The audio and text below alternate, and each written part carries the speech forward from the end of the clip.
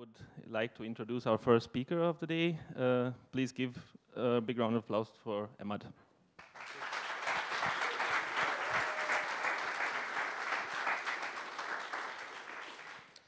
Hello. Okay, it's fine.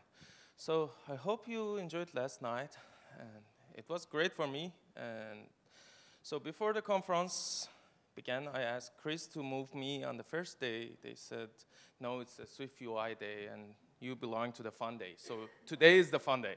So no UI, I hope. And uh, so let's begin. My name is Emad. I'm solution architect and lead, lead developer in a new company I started uh, 1st of July uh, in Denmark. I moved to Denmark five years ago. I'm Iranian, and I have seen so many Iranian here. I really appreciate, and you're doing great. Uh, I'm also doing video instruction and article in Kodeco or old Ray Wenderlich, and the whole idea of this talk coming from one of my video courses in, in their website. That's why I'm here. I'm not doing any health-related job every day. The Accubis, the company, is a financial company. We are doing expense management system and all sort of boring thing that you don't like, I assume. But before that, I was in a taxation ministry in Denmark. Uh, I worked there for a year and a half, but in general, I I started mobile development, I think, 10 years ago. And right now I'm here. Let's begin. So I have a live demo today. Bear with me, and let's see how it goes. But before the demo, let's go with agenda. So I'm to go through all these six steps, introduction, all the Apple Health frameworks, Health Kit, Care Kit, Research Kit, and best practices and conclusion. So if you have any question or anything, just keep it in your mind. We have like 15 10, uh, to 20 minutes at the end. And I try to be quick if I could. I add more content. Introduction. So when I'm talking about Apple Health Frameworks, it's not Health Kit. It's all different kits. And you can do a lot with them. And it's not only for the health purposes. You can use it there are lots of different tools. You can use it for different purposes than health. But the important part is open source. Apple finally did something open source before Swift and everything. Uh, they did this uh, open source a couple of years ago, and uh, it's out there. You can use, contribute, do whatever you like, like Swift these. And also has a lot of prepared UI components that you can use. The next thing is it's trusted by user because it doesn't store any data anywhere else and it doesn't, you can save it anywhere you like, but uh, it's, it can be stored in the, in the iPhone or iCloud. And it's free, so you don't need to pay anything to get those frameworks.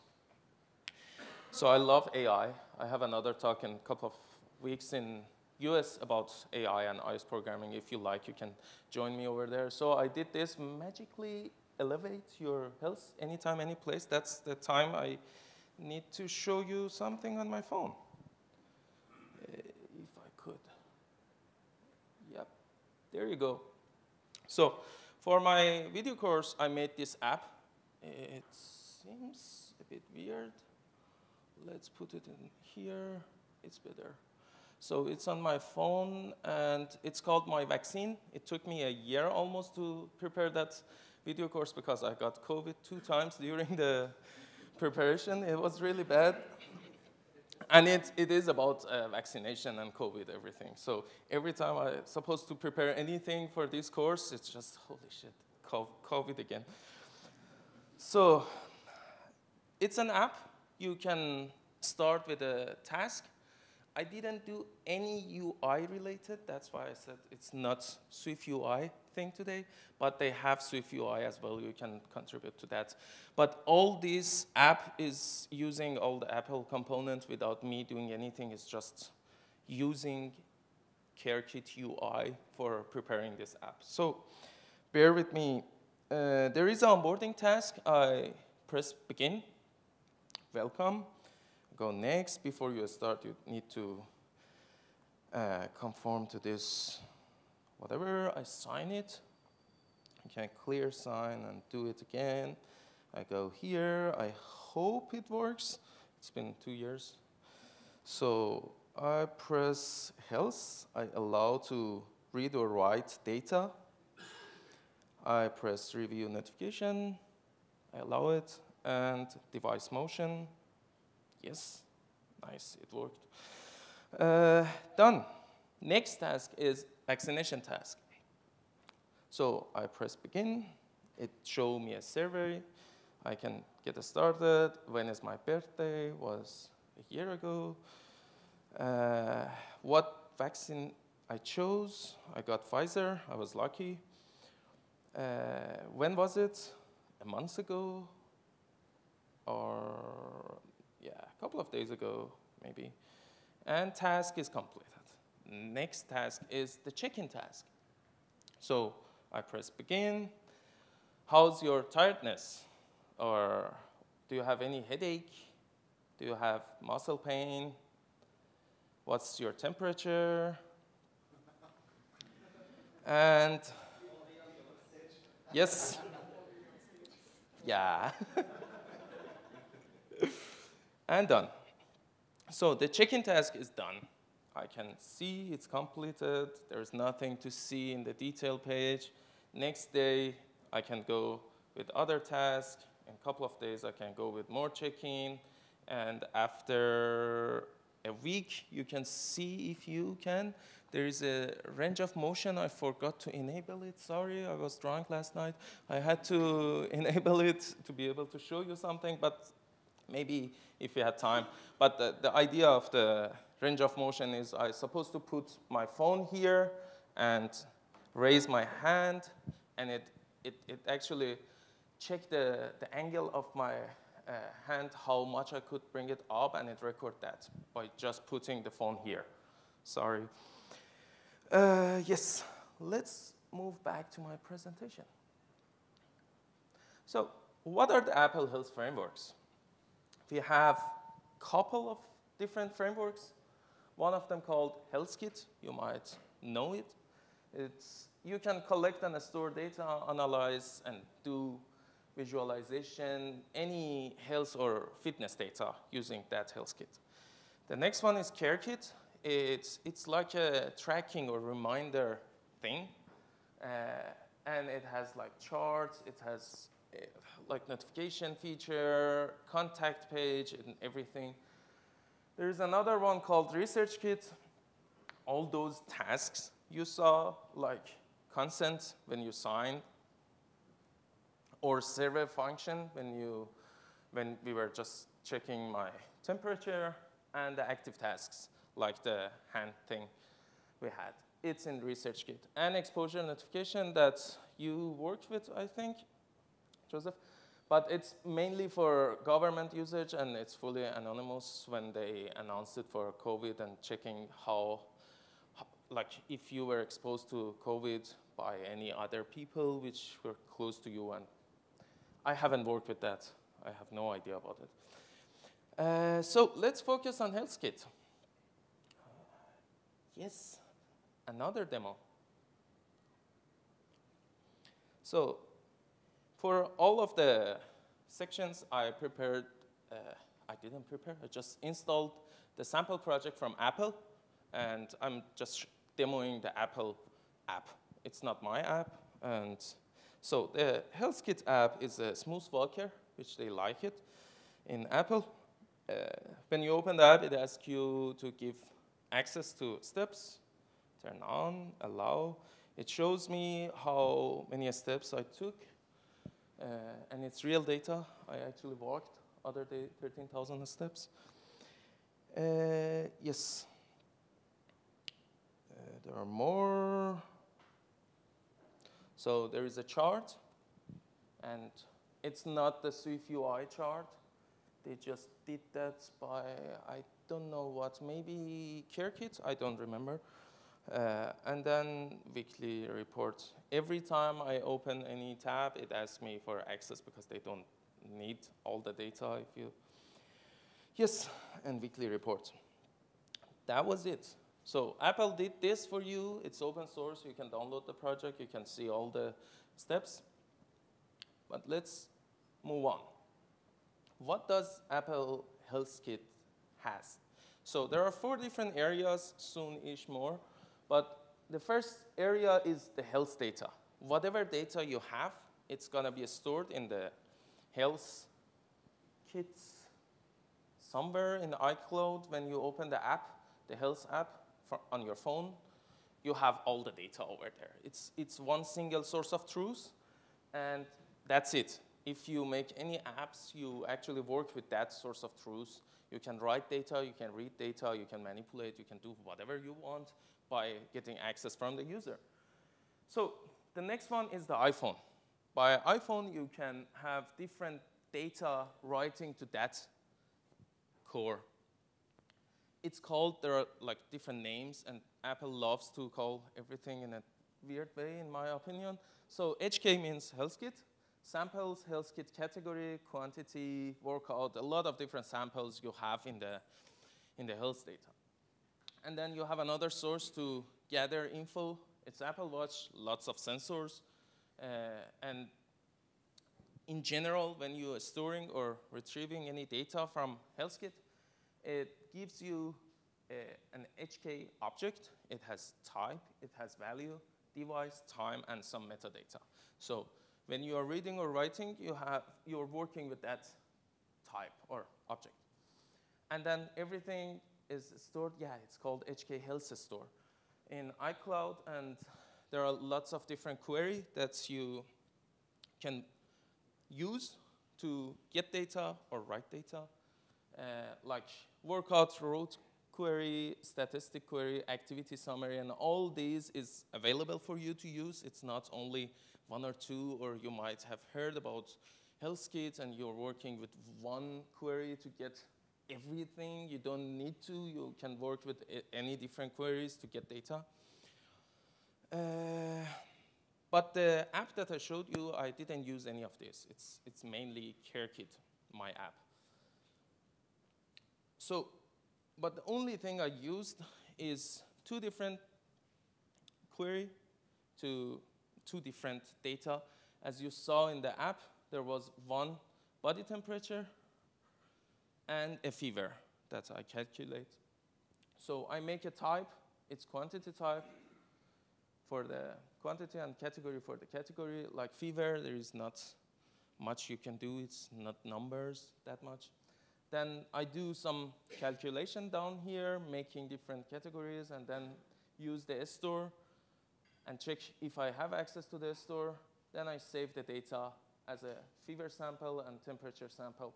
That was the only thing I should do regarding the, the health kit and storing all the data from my app in the health. And whatever I, I added to my app now is in my health data. I can show you afterward. So let's go to CareKit. In CareKit, oh, should I demo that? No, yeah. In CareKit, we have, could go less fast, we have two different sections. One is CareKit UI. All those UI you saw in the app, my vaccine app, is coming from CareKit UI. It's prepared for you all different cards, all the calendars and charts and everything is prepared. You just need to feed in data and then show the UI by a couple of lines code. There is nothing that you should customize. If you want, you can give it a style. And there are also UI kit and Swift UI in the care kit. You can just style it or even add your own view to it. But generally speaking, you just can use the UI without any customization or any knowledge in the UI. And then we have CareKit Store. It's just a wrapper on top of HealthKit uh, that uh, has different schema and store your data in a right way. And you have task, you have task query, as I said. It's like OCK, CK means care kit. I don't know what O is, uh, but and there is another one coming soon, and I got confused all the time with all this acronym.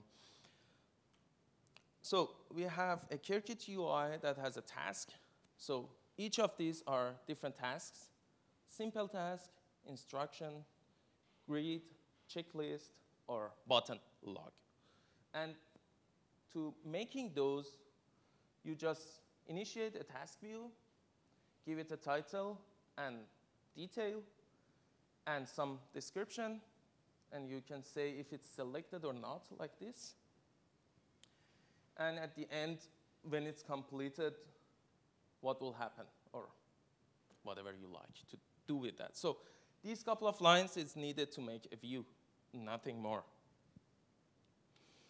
Another one, we have charts. So before they release Swift UI charts, they release this. So you could use these charts without doing anything. Just make a chart view, give it a type, bar, whatever, line, and then title and the source data. And a contact page. So contact page is just a simple contact page that Apple love, and you can just feed in data, and then it makes you everything. So the important part is CareKit Store. When user interact with those data on the task level, how you could get data back is just when you make a task up there, and then add another task or update it, and at the end you can get a completion handler or closure when you call fetch tasks and get the data. How the hell you know the data structure? I'll tell you in a bit. But before that, yes. Oh, before that, let's take a look at the CareKit catalog. It's, it's, uh, it's app that Apple prepared. I can show you its CareKit catalog. So this is the app. We have all different tasks here. Grid task, checklist, instruction, and you can see all those has like detail page, and if you look uh, up, there's Swift UI and UI kit. So you can use any of those in your project. Uh, numeric progress or button log. Contact page, simple page with all those fancy, it has also FaceTime apparently. Uh, and charts, lovely. Uh, yeah, you can see any of those UI in the, in the catalog app from Apple. Let's move back to the project. So, if you noticed in my app, uh, there is a calendar, and in each day we have different tasks. When you press that task, it shows you a survey. So there's a OCK store manager, that's my uh, database, as per se. And then uh, for each day, I have different OCK tasks. Just remember these names. It's a bit weird because there is another one, ORK task. It's a survey task from ResearchKit. And there are different classes in my code that you can check out at the end uh, or at your home. And there's a task manager that I handle all the CareKit task, which is just the UI part. And then there's a survey manager that I handle all those data coming out of the survey. So just quick look at the CareKit store schema. So we have one patient that has a care plan, all those uh, calendar thing, and different tasks, and a contact. And tasks can have schedule, like after a week or three days, I ask a user to, let's raise your hand to see how long, how, how far you can go up, because we've all been there, it's hard. Uh, and there is an outcome of those tasks. Let's go. research ResearchKit. So I think it's nice to go back to my app to just grab your uh, info again. So there is a calendar up there, different tasks, and then these are all CareKit. When I press begin, this is ResearchKit. So all these surveys coming from ResearchKit. You have different type of ORK task, which is an actual ResearchKit task. It can be anything. But behind this result, this page, all these coming from CareKit. So scheduling different tasks after a week show that, or after two weeks show another task. It's coming from CareKit. Let's go back to ResearchKit. So what do we have on ResearchKit? We have informed consent. You can show different info in the web view or any data you have. You need to get approval from user that you are doing this on your own risk or whatever. You can get a signature, you can do every, every little thing that every different form of the consent is there, prepared for you. And then we have survey function, all those instruction, question, form, video, instruction, everything is on the survey functions. And we have active tasks. This is the one that I love. I'll show you in a bit different type of active tasks. But this is the one that works with all the sensors on your phone or on the Apple Watch or on the Vision, Vision Pro. So inform, inform consent, different type as I mentioned. You can have all those if you want. Survey, this is the nice part. The important part in ResearchKit is there is no uh, storage or store manager or anything. It's just on the memory.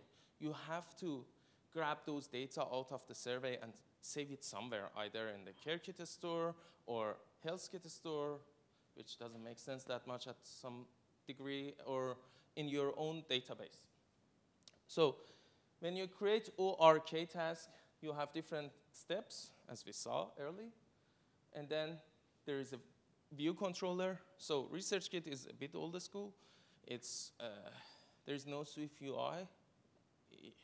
Yeah, I, I didn't check it past few months, but they didn't release any, any huge or major updates for ResearchKit. And then when you're working with that, at the end you get a result. For each step and each task, you have a result type. You have to fetch it. So there is a catalog for that as well. Thanks to Apple, they did great couple of years ago. They didn't update their app. So ResearchKit catalog.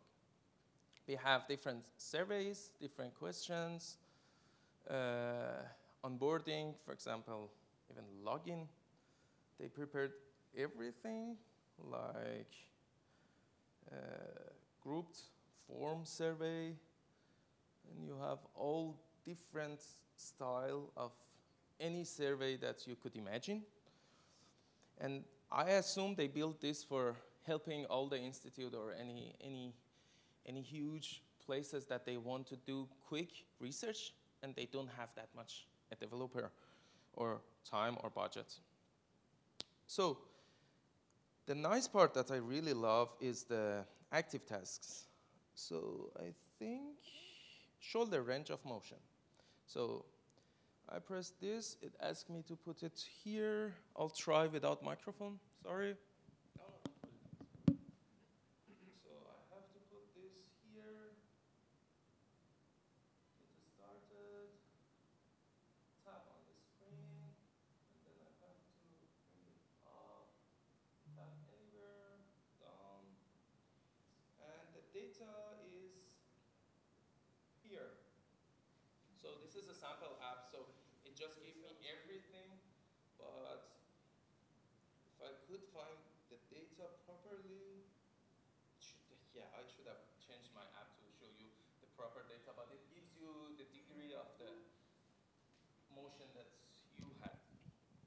So, uh, so there are lots of different things for any, any issue that you might face or you want to get data out of it, like speech in noises, speech recognition, and uh, yeah, fitness check and audio check, and it, they prepare everything almost. But you can use your uh, the, the sensors to do your thing as well. I'll tell you how.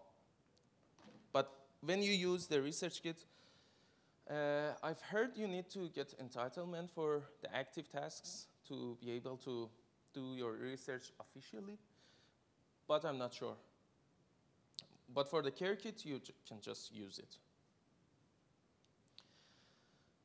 Best practices and conclusion. So the better way of using these different kits are to use it together.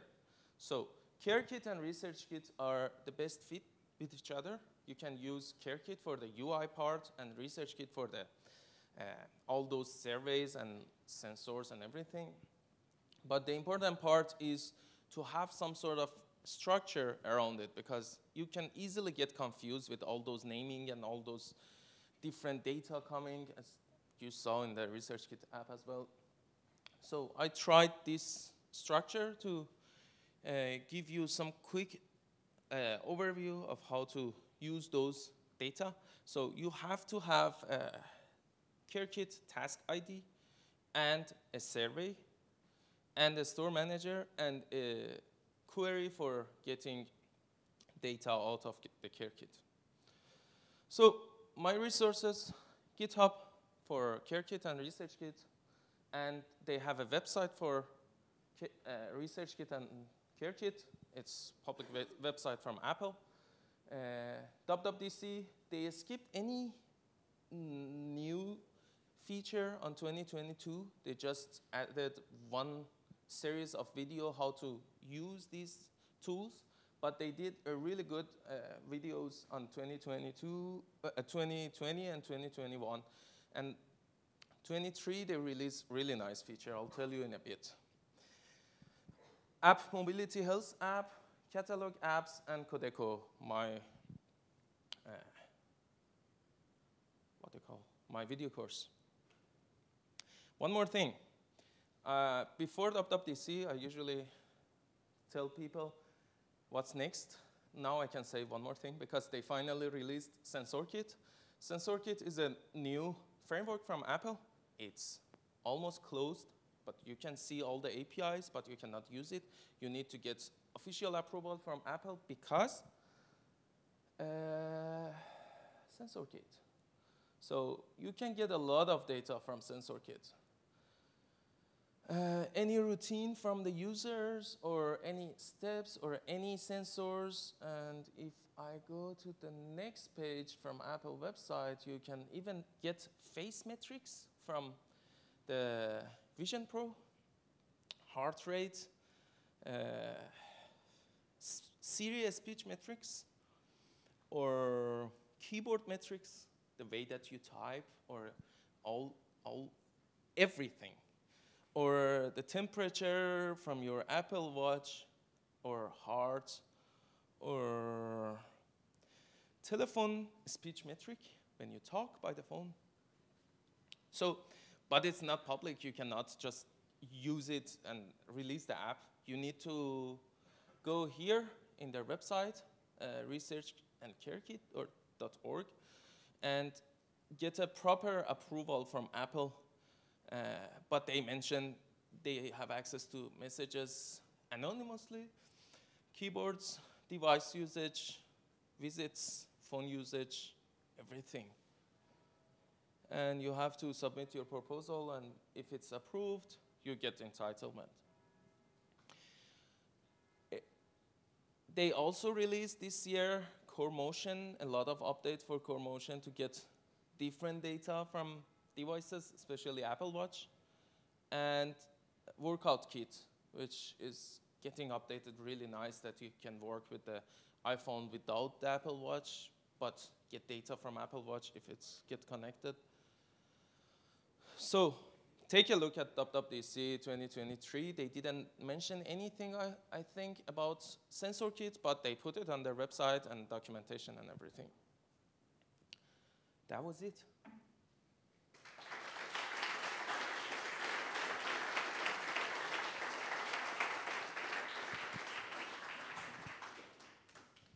So before we move to the questions round, I have a question myself. Um, so you said that the health data and workout data is available in iCloud. Now, obviously, the Mac doesn't have any active input regarding this kind of data. Is it possible to build an macOS app only based on data from the phone or the watch?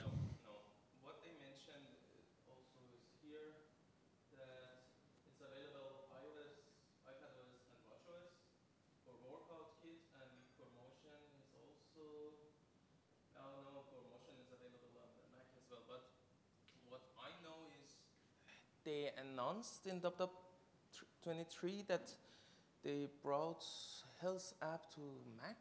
I'm not sure if they have Health app on the Mac, so you can use health data. If they don't, no. Okay. Thank you.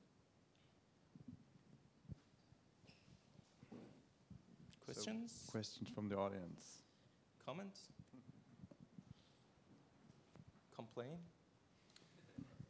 Yes, thank you very much for the interesting talk. Thank you. Um, so the view components of those frameworks seem very general purpose. Are there any guidelines stopping you from using that outside of the health context? Uh, that's the thing. I didn't dig into that much, but I've seen this component out there in different apps. And there was one person here that I could not find her, that she is over there. She used that uh, CareKit at the end of the hall, uh, but she didn't release the app, and it was the uh, health related. But there is nothing stop you. There is a, a Swift package from CareKit mm. that you can just add to your project, use the UI, and even there is no need to add anything in InfoPlist. So mm. maybe. Interesting, thank you. welcome. I plan to use that calendar view for my own app. it's so nice. More?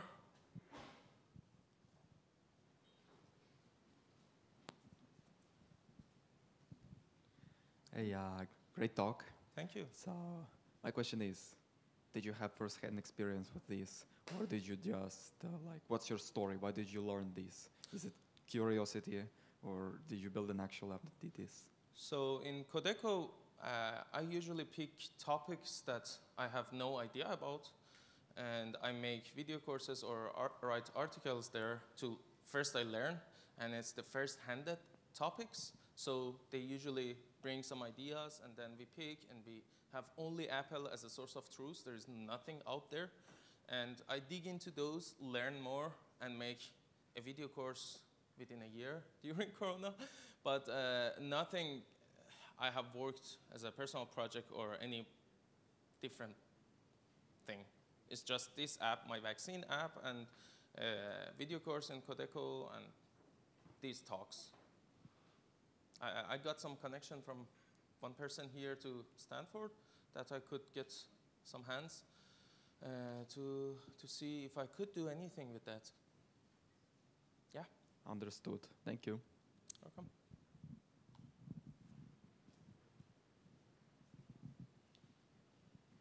I spent tons of time to make this QR code nice. Please scan it. It's my website. the QR code looks nice. Yeah, um, thank you. Um, do you know how much of this is actually uh, used by either governments or big companies or whatever? Because it sounds to me like there's a lot of stuff out there, also stuff like FHIR and whatnot, but I don't know who uses that. So in their website, the internet helped me. Uh, they mentioned which companies are using it, which research institutes are still not working. Uh, yep, but they are using this in different projects and different places, uh, especially with the, uh, they, they actually built research kit first because they needed that uh, for the huge companies and they didn't want to release access to the sensors. They had to build up something on top of that to be able to work with that. Uh, but right now, it's there are some apps they mentioned, mainly in US. Uh, but reach out to their website. It's a really nice community they have, and they are not that much closed like other uh, Apple developer. They can communicate, they can talk with you, and it's an open source community. Yes, Thanks. QR code. Meanwhile.